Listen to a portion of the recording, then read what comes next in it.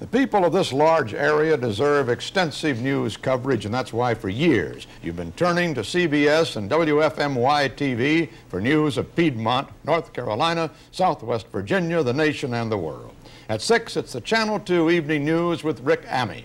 We follow at 6.30 with our world and national report from CBS News. And at 11, it's a wrap-up of the day's events on Night Beat with Susan Kidd.